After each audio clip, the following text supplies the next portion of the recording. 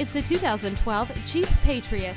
A traditional looking Jeep model, this Patriot comes with cruise control, privacy glass, a CD player with MP3 decoder, tire pressure warning, and the safety of multiple airbags, anti lock brakes, and a touring suspension. Create a sense of pride in what you drive. Make this Patriot yours today.